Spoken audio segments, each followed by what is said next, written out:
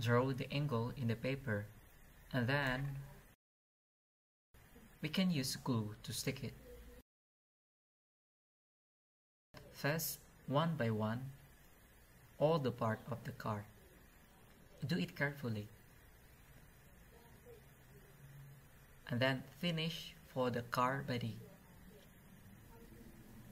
And then, so I draw every detail for the car's body and you can see my detail in the screen. Okay this one is the first version. Is kind of final assembly.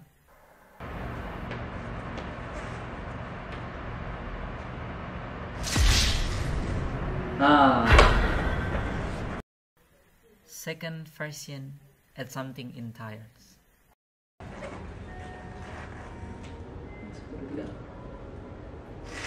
ah The third version, we add some weight.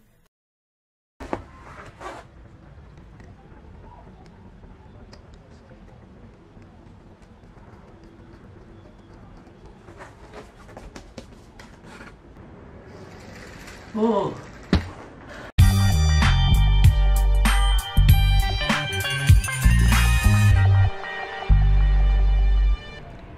And then the final version is really perfect.